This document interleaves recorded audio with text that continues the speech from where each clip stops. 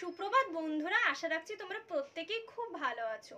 বিগত কয়েকটি ক্লাসে আমি তোমাদের সকলের সামনে সংবহন সম্বন্ধে বহু তথ্য প্রদানের চেষ্টা করেছি।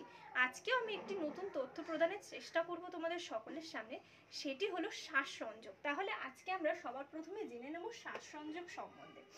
শ্বাসরঞ্জক বলতে রক্তে উপস্থিত যেসব রঞ্জকগুলি শ্বাসবায়ু পরিবহনের সহায়তা করে, তাদেরকে আমরা শ্বাসরঞ্জক বলে থাকি।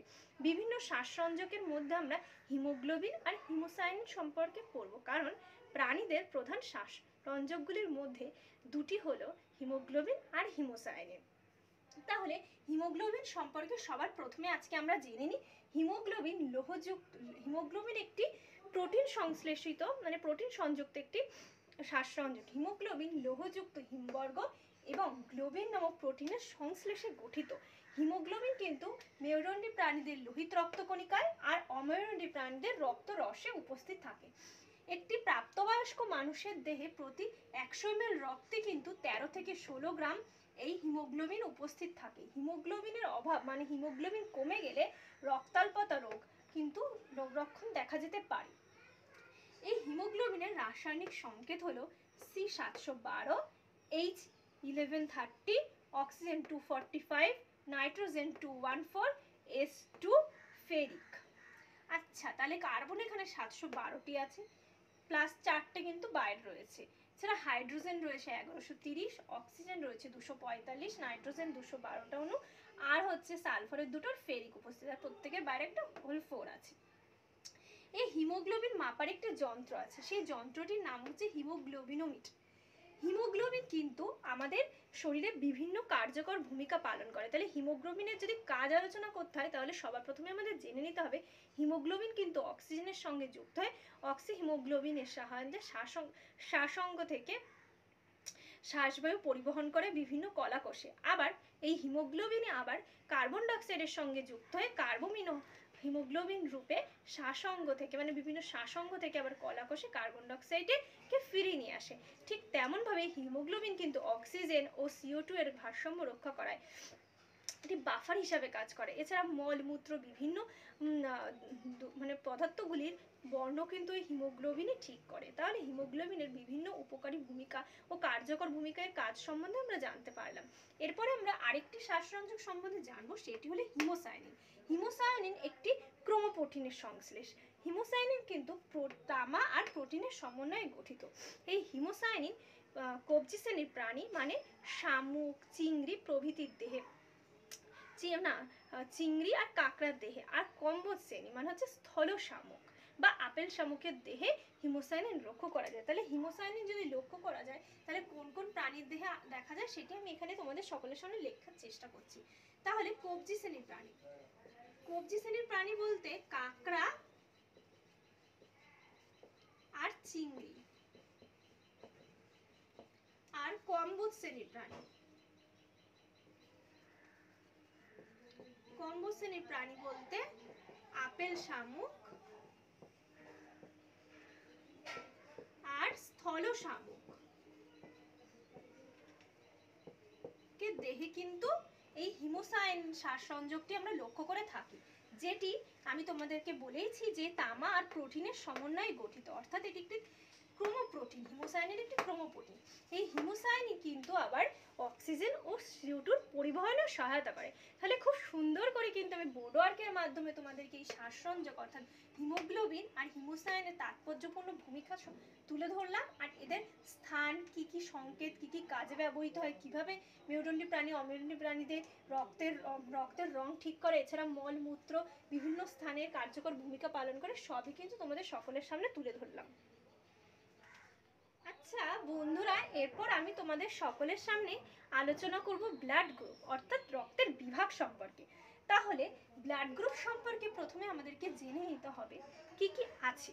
তাহলে, সবার প্রথমে আমাদেরকে জানতে হবে বিজ্ঞানী, এই যে, বিজ্ঞানীর সম্পর্কে, যে কোন বিজ্ঞানী কত খ্রিস্টাব্দে কীভাবে এই ব্লাড গ্রুপকে সৃষ্টি করলেন বা উৎপন্ন করলেন বা বিভক্ত করলেন।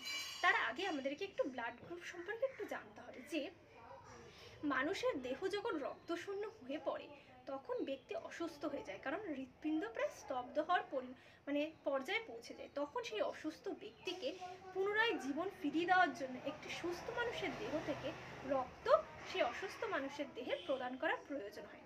কিন্তু এইভাবে যদি আমরা রক্তের রক্তকে একটি অসুস্থ মানে স্বাভাবিক মানুষের রক্ত থেকে একটি মানে একটি অসুস্থ ব্যক্তির দেহে প্রবেশ করে, তাহলে দুর্ঘটনা ঘটতে পারে। কারণ এই রক্তের বিভাগ বা রক্তের গ্রুপ যদি সমান না হয় মানে সমগোত্রীয় মানে সমগোষ্ঠীর না হয়, তাহলে অসুস্থ ব্যক্তির মৃত্যু পর্যন্ত ঘটতে পারে। সেই কারণেই কিন্তু আগে স্বাভাবিক মানুষের রক্তের গ্রুপ পরীক্ষা করে নিয়েই অসুস্থ মানুষের দেহে রক্তের প্রদান করা হয়, যাতে বোঝা যায় যে অসুস্থ মানুষের দেহের রক্তে কি সেই সেম ব্লাড গ্রুপ আছে? তবেই কিন্তু সেই অসুস্থ মানুষের দেহে সেই স্বাভাবিক মানুষের রক্তকে প্রদানের পরামর্শ দিয়ে থাকেন ডাক্তারেরা। তাহলে এই ব্লাড গ্রুপকে আমরা কীভাবে নির্ণয় করব? বিজ্ঞানী ভিয়েনার বিজ্ঞানী, ভিয়েনার চিকিৎসক ল্যান্ডস্টেইনার উনিশশো এক খ্রিস্টাব্দে রক্তের লোহিত রক্তকণিকায় অবস্থিত অ্যাগ্লুটিনোজেন আর রক্তরসে উপস্থিত অ্যাগ্লুটিনিনের উপর নির্ভর করে রক্তের চারটি বিভাগ নির্ণয় করেন। এই চারটি বিভাগ হলো A B R A B আর একটি হচ্ছে ও এই চারটি বিভাগ। এই চারটি বিভাগের মধ্যে আমরা সবার প্রথমে জেনে নিই সার্বিক দাতা ও সার্বিক গ্রহিতা কোন ব্লাড গ্রুপ তাহলে আমাদেরকে জানতে হবে যে এই যে ও যে বিভাগের রক্তের ব্যক্তিরা আছে, তারা কিন্তু খুব সহজে যে কোনো বিভাগের রোগীকেই বা বিভাগকেই রক্ত প্রদান করে থাকে। সেই জন্যই কিন্তু ও গ্রুপকে আমরা সার্বিক দাতা বলে থাকি। কারণ এর মধ্যে অ্যাগ্লুটিনোজেন উপস্থিত থাকায়। ঠিক তেমনভাবে এবি ব্লাড গ্রুপের ব্যক্তিদের মধ্যে, রক্তের মধ্যে অ্যাগ্লুটিনের উপস্থিত থাকায় এই এবি গ্রুপের ব্যক্তিরা খুব সহজে যে কোনো ব্লাড গ্রুপের রোগীর থেকে রক্ত গ্রহণ করতে পারে। এই জন্য এবিকে আমরা সার্বিক গ্রহিতা বলে থাকি। তাহলে সার্বিক দাতা বলতে আমরা বোঝাবো, সার্বিক দাতা বলতে বোঝাবো ও গ্রুপকে আর সার্বিক গ্রহিতা বলতে বোঝাবো এবি কে এরপর আমরা জানব আরএইচ ফ্যাক্টর সম্পর্কে। রিসার্চ নামক বানরের দেহে তোমরা সকলেই জানো যে সবার প্রথমে অ্যাগ্লুটিনোজেনের উপস্থিতি লক্ষ্য করা যায়। এই অ্যাগ্লুটিনোজেন কিন্তু উনিশশো চার খ্রিস্টাব্দে মানুষের দেহেও রক্ত, দেখা যেতে পারে। মানে সেই উনিশশো চার খ্রিস্টাব্দে কিন্তু মানুষের লোহিত রক্তকণিকায় অ্যাগ্লুটিনোজেনের উপস্থিতি লক্ষ্য করা যায়। তাই জন্যই পৃথিবীর প্রায় নাইনটি ফাইভ পার্সেন্ট মানুষের রক্তেই কিন্তু, লোহিত রক্তকণিকায় কিন্তু অ্যাগ্লুটিনোজেন বর্তমান থাকে। সুতরাং যেসব ব্যক্তির দেহে অ্যাগ্লুটিনোজেন বর্তমান থাকে, তাকে আমরা পজিটিভ আরএইচ মানে বলে থাকি মানে ধনাত্মক আরএইচ আর যাদের রক্তের দেহ মানে লোহিত রক্তকণিকায় অ্যাগ্লুটিনোজেন অনুপস্থিত থাকে, তাদেরকে আমরা নেগেটিভ আরএইচ ফ্যাক্টর বলে থাকি। তাহলে আরএইচ ফ্যাক্টরের মধ্যে ধনাত্মক আরএইচ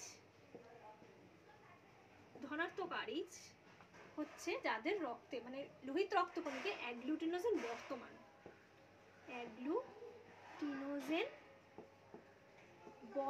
বর্তমান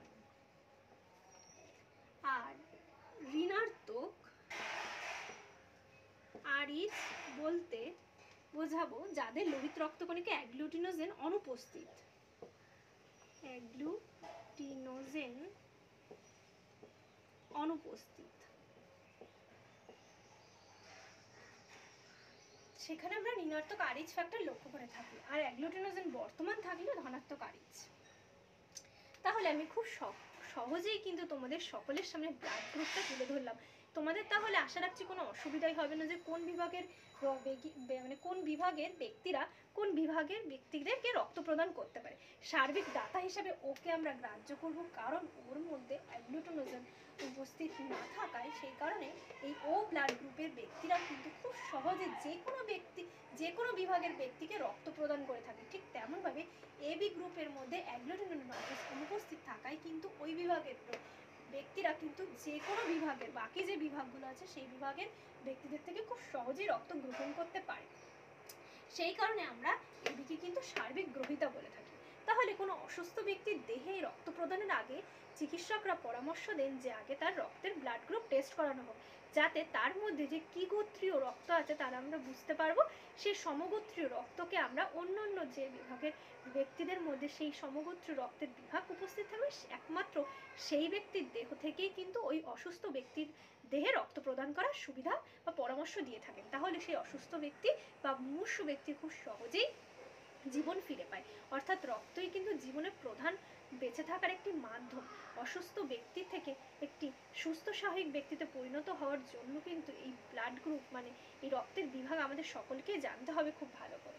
তাহলে খুব সহজে আমি তোমাদের সকলের সামনে ব্লাড গ্রুপের পোর্শনটি খুব ভালোভাবে বোঝানোর চেষ্টা করলাম।